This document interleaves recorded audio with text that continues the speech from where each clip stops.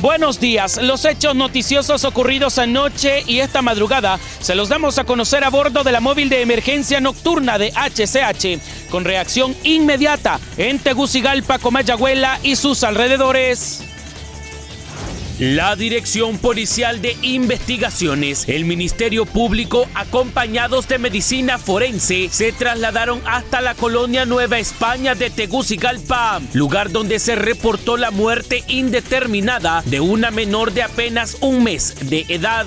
A la bebé ya la estaban velando los familiares en el interior de una casa, cuando llegó la policía a irrumpir el velorio para hacer el levantamiento cadavérico de la menor y determinar la causa de muerte. Luego de realizar este procedimiento, el fiscal de turno y el médico forense determinaron llevar el cuerpo de la niña a la morgue del Ministerio Público, por lo que fue trasladada con todo y el ataúd para practicarle la autopsia. Familiares estuvieron en contra y no querían que las autoridades se llevaran el cuerpecito, pero ya era una orden de la fiscalía trasladar el cadáver al Centro de Medicina Legal y Ciencias Forenses. La bebé fue identificada como Eliani Betsabe Carrasco. Sus familiares se apostaron en las afueras de la morgue mientras terminaban el procedimiento forense para nuevamente entregarles el cuerpo y lo siguieran velando.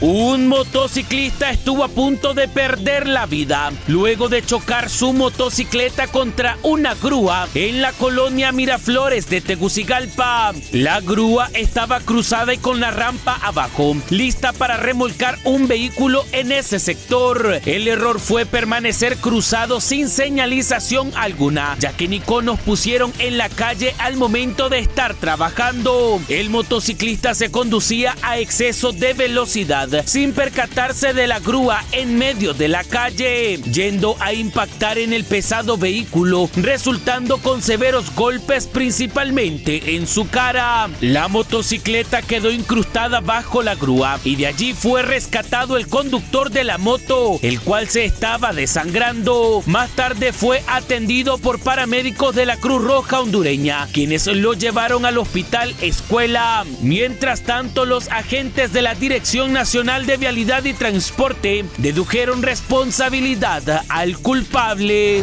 Operación de impacto ejecutaron en las últimas horas funcionarios policiales asignados a la UMEP 1. Como parte de los resultados, se dio captura a un supuesto gatillero, miembro activo de la estructura criminal Los Al Qaeda. El detenido fue sorprendido con un arma de fuego 9 milímetros con sus respectivas municiones en la colonia Palmira de Tegucigalpa.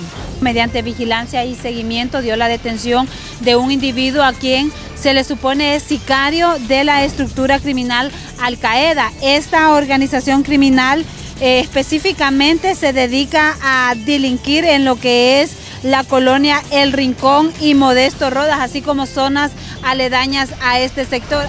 El detenido ya fue remitido ante la Fiscalía de turno para abrir un proceso judicial por el supuesto delito de portación ilegal de armas. Además, la pistola está sometida a investigaciones en la DPI para verificar su participación en hechos criminales suscitados en la capital.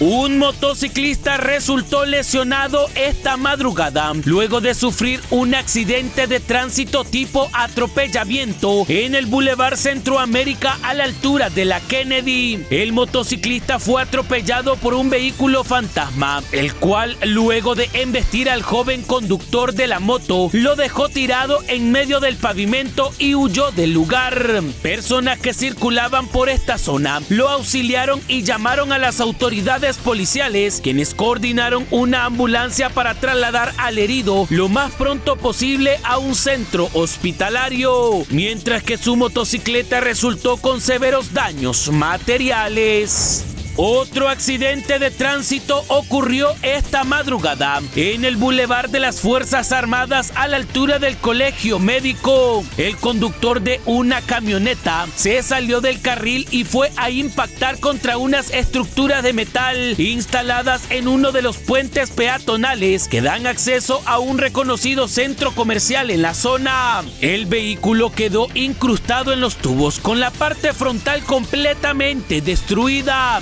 Conductor manifestó que acepta se trató de un despiste al momento de ir manejando. A Dios gracias solamente fueron pérdidas materiales y no de vidas humanas.